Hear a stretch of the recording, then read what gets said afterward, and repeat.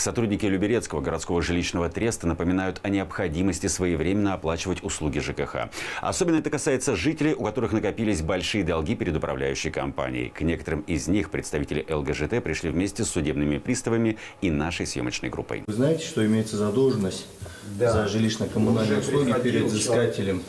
Этот мужчина задолжал управляющей компании более 100 тысяч рублей. Неоднократные призывы и напоминания оплатить услуги ЖКХ не привели к результату. В итоге у него в квартире судебные приставы накладывают арест на имущество. Взыскание задолженности за жилищно-коммунальные услуги является основной задачей э, Главного управления Федеральной службы судебных приставов по Московской области. Потребителям э, ресурсов необходимо ответственно относиться за погашение задолженности за жилищно-коммунальные услуги, иначе их ждут серьезные последствия. Такой случай далеко не единичный. Только в этом пятиэтажном доме сумма долгов жителей перед ЛГЖТ составляет полтора миллиона рублей. Во всем городском округе под ведомством управляющей компании более 800 МКД. Почти в каждом есть злостные неплательщики. Требования правительства Московской области, требования главы, требования нашего генерального директора о том, чтобы улучшать, улучшать качество обслуживания э, территорий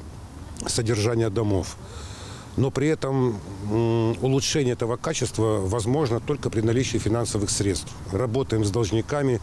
Только с той целью эти деньги нужны, чтобы провести ремонт подъездов, чтобы обслужить территории, построить детские площадки, благоустройство сделать дворовых территорий.